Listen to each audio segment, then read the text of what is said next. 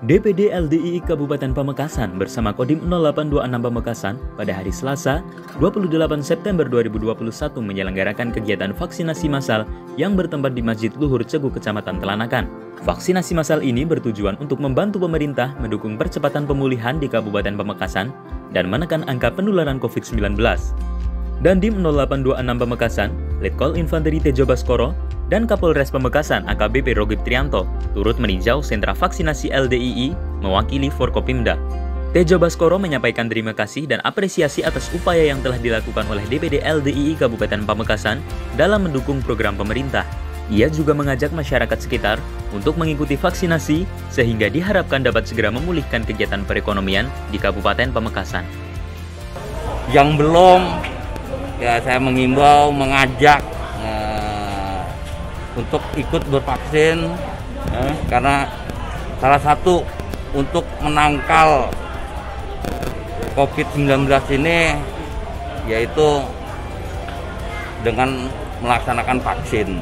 Tetapi tidak meninggalkan 3M, 3T yaitu mencuci eh, memakai masker, mencuci tangan, menjaga jarak, testing, tracing, treatment itu tetap dilaksanakan sehingga COVID-19 ya khususnya di wilayah Telanakan ini hilang dan kita sama-sama bisa meningkatkan kehidupan yang lebih baik lagi terutama untuk ekonomi eh, Pamekasan. Sementara itu, AKBP Rogip Trianto menyampaikan harapan kepada LDII untuk terus mengajak keluarga, saudara, serta teman-teman sekitarnya untuk vaksinasi. Ia mengatakan, vaksinasi merupakan program pemerintah yang harus dilaksanakan karena pemerintah sangat antusias menjaga kesehatan masyarakatnya.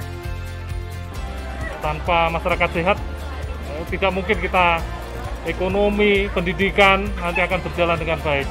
Ya tentunya itu saya menghimbau saja harapan kami tentunya rekan-rekan uh, dari LDI mau mengajak ayo semuanya warganya keluarganya sahabatnya masyarakat yang ada untuk bersama-sama ayo berbondong-bondong untuk menjaga imunitas bersama ya.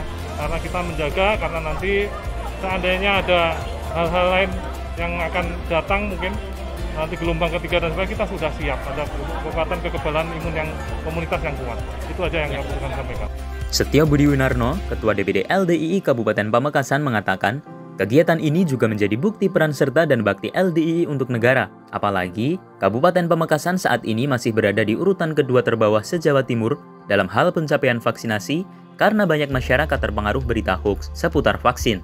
Ia berharap apa yang dikerjakan bersama-sama pemerintah daerah ini bisa memberikan kebaikan, penyegaran, dan pemahaman yang benar kepada masyarakat. Dengan mengajak dan berpartisipasi dalam kegiatan vaksinasi, LDII berharap masyarakat di Kabupaten Pamekasan bisa menjalani hidup dengan normal.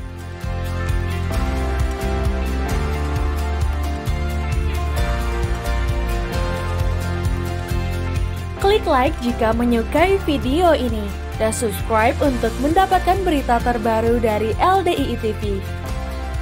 Alhamdulillahi jazakumullahu khairah telah menonton.